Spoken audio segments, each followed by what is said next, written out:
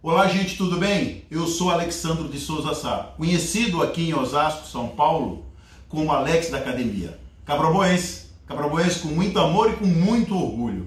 E hoje me encontro muito triste, porque acompanhei aqui em Osasco, São Paulo, através da mídia televisiva, uma reportagem a qual está colocando o Cabrobó entre as cidades com maior índice de criminalidade e tráfico de droga.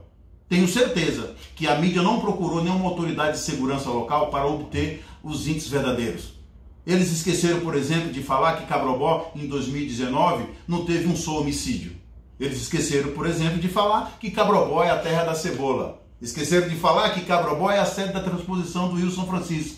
Esqueceram de falar que Cabrobó é a terra de homens e mulheres valentes e que amam essa querida Cabrobó. E principalmente honesto.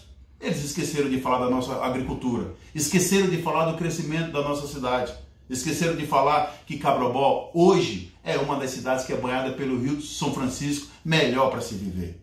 Eu sou cabroboense, cabroboense com muito, com muito orgulho, e peço que você, cabroboense, não se cale com uma reportagem como essa. Cabrobó, cabroboense, contem sempre comigo, mesmo distante, estou defendendo essa querida cidade.